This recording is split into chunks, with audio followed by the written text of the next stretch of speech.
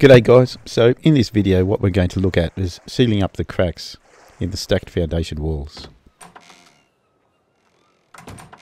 So in the previous stacked foundation video I just stacked it into a square box, but that's not the most efficient way of doing it. The outer top ring of foundation may provide some protection but they're not required to seal the boot up. But if you to just remove them, you end up with a gap.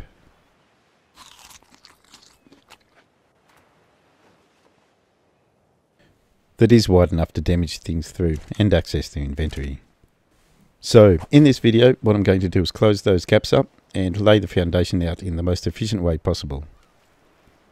And this has become my standard boat, as it's efficient, it's a bit expendable, and it doesn't matter if it's sunk yet still provides good protection. So grab the rudder to centre the first pillar, place a pillar half a square back, then place another pillar half a square forward, and the foundation next to it. Now normally we'd end up demolishing that foundation, but in this case we're going to preserve it. So pillar into the foundation and lower it once more.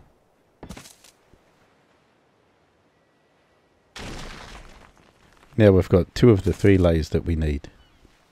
Extend it one square out the back of the boat, all at that same level, just using the thatch ceiling extension with the foundation underneath it. Now demolish the foundation over the rudder. We need that one level lower. So a pillar in the foundation next to it and find the lowest snap point over the rudder. So now we've got the three levels that we need the lowest level over the rudders so we can access the rudder. The next level up is our walking space. And the next level up from that is the walls.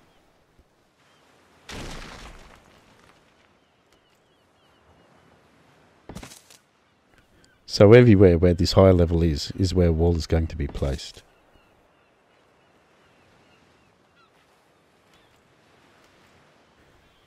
I'm not going to use the lower one at the front, it's only going to be a 3x4 raft.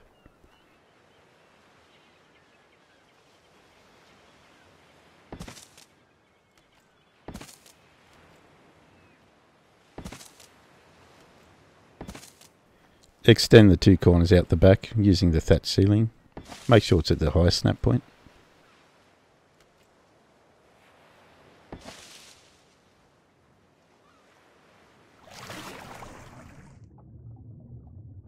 And same for the foundations. Make sure they're at the highest snap point.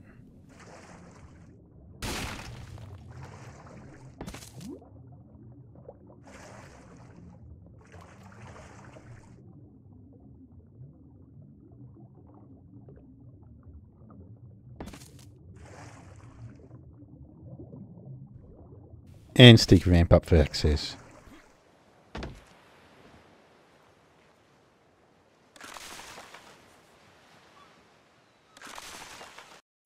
So the last few official server boats that I've been using have been built off this foundation. So the raised perimeter shows where the walls are going to be placed. You can of course extend that out further to make say a 5x5 if you wanted to, which would give a 3x3 space in the centre. Now this high foundation is as high as you can go while still protecting the bottom of the raft. So I'll swim under and give it a piking.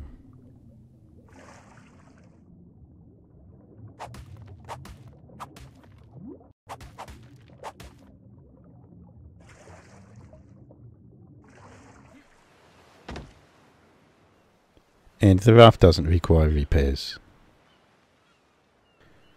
Okay, so now that the foundation's down, let's lay the first level of wall, but eliminate the gap in doing so. So on the front edge of one of the foundations, place a pillar down. Make sure it's at the lowest snap point. Now a pillar in the middle of that foundation, again at the lowest snap point, and demolish the first pillar. One more pillar up, two thatch ceilings across from the centre, and a foundation underneath that thatch ceiling. So now we've stacked the foundation and eliminated the gap between them. Get rid of all the supporting structure.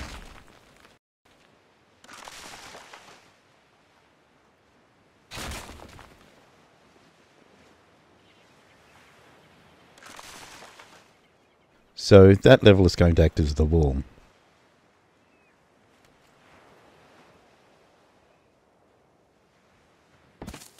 Now I'll place the level that will act as a ceiling. So it's done exactly the same way. Pillar on the edge, then pillar in the centre, both at the lowest snap point. Another pillar up from the centre, and then two thatched ceilings. And snap the foundation underneath. Now as you can see, you can walk freely underneath that foundation. Yet the whole thing's sealed up with no gaps. Now again get rid of the supporting structure.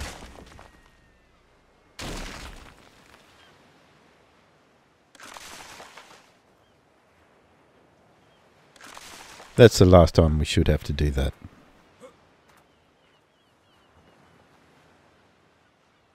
Now before you fill in the rest of the wall, what I like to do is lay a bed down. The first thing people do when they break into a boat is destroy the bed. But if we lay it down on one of the sides, we can foundation it in. Now if you respawn on that bed, you'll end up on top of the boat. There is a snap point that allow you to place these side foundations in. But sometimes it's hard to find. If you're having trouble, just extend it with thatch ceiling off the top and snap the foundation underneath it. Alternatively, just get as much distance as you can and usually snaps into place.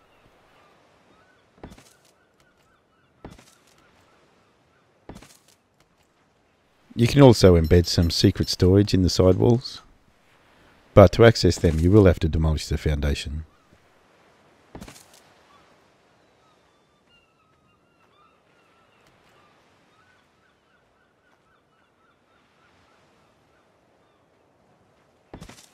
You can also look at the bottom foundation and use the snap point cycling button to find the higher one. Now for the ceiling foundations, we do need to use a thatch ceiling extension. Because it's not directly sitting on top of another foundation. Now two door frames on the back foundation. There's no point making stacked foundation walls and then only having one door access. As that'll be a weak point. Having two doors also prevents people accessing your boat by knocking you out once you've got one door open. Okay, so that's the basic chassis that I've been working off.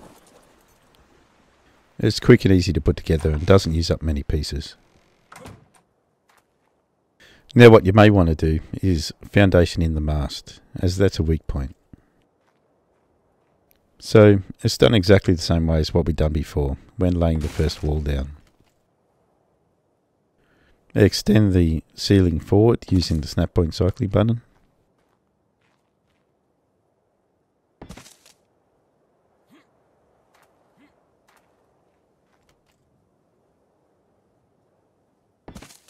And do the same on the sides.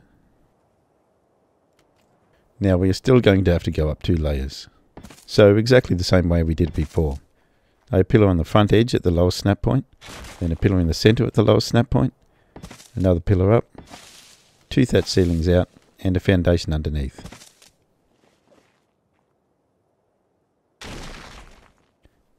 Keep repeating and extending that process until you have a five high stack in the front and that'll fully cover the mast from damage.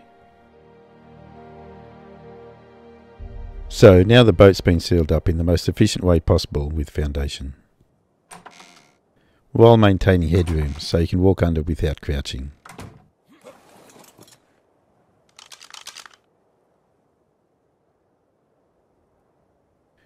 Now you may be thinking, well there ain't much room in there. Well you can furnish it any way you want, but I'll show you the way I do it. And you may want to do this before you lay the walls down, although it's not important. If you demolish the walls around the front square,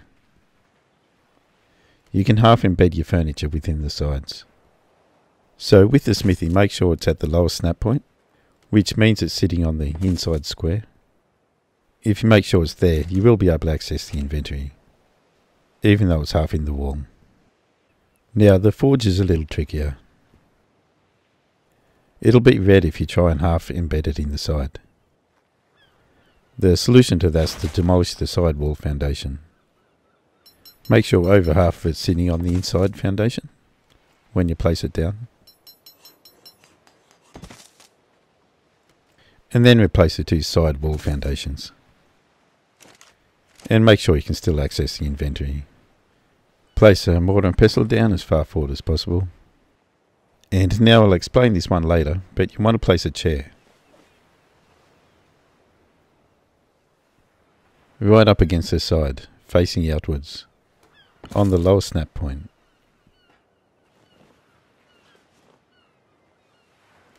And again, replace the side wall foundation.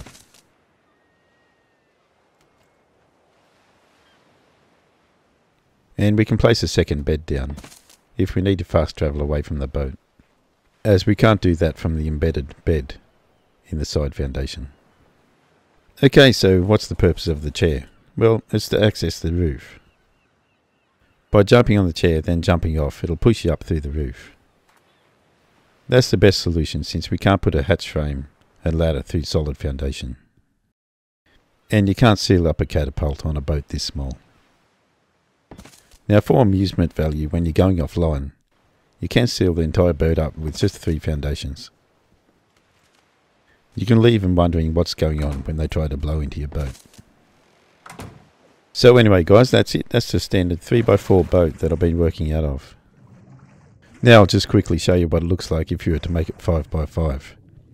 You don't need the corner blocks as they don't serve any purpose. with those outer 12 foundations being the raised walls.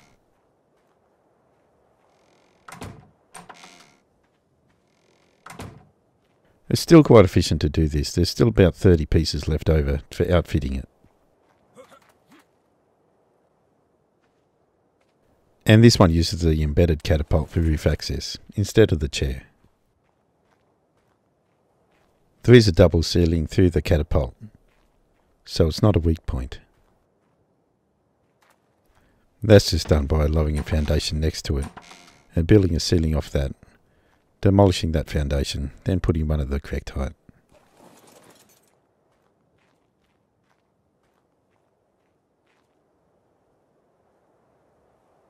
Anyway, I have built these boats on the official servers. In fact, the first one I made was blown up. And it was blown up by these guys. So I'm going to teach them a lesson on why you have to seal up the mast, particularly if you're going to make a metal boat.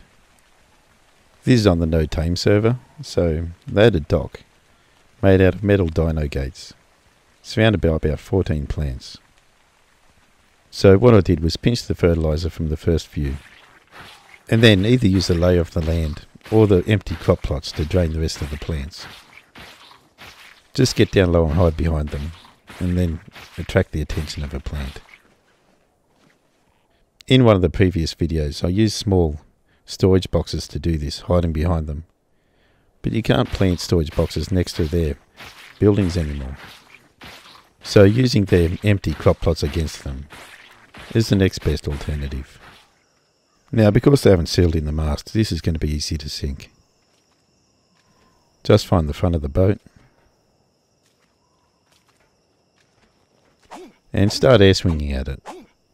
Now the only feedback that you're going to get is wear on the tool that you're using. So keep track of that and make sure your tool's wearing out, which means you're hitting the mast. And eventually, goodbye SS Jane. Now I have to fight the Troodon that chased me in earlier.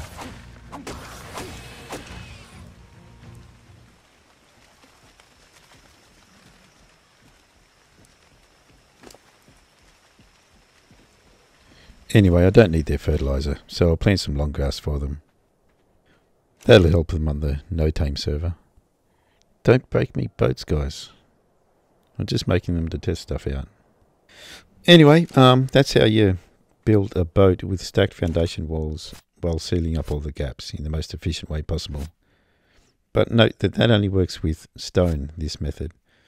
To do it in metal, you have to do a different method with different levels. If people want, I can show that in a video, which will be simpler and easier than this one was.